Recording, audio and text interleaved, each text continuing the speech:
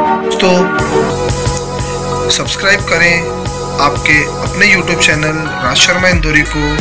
Bell icon दबाएँ हमारे video सबसे पहले देखने के लिए।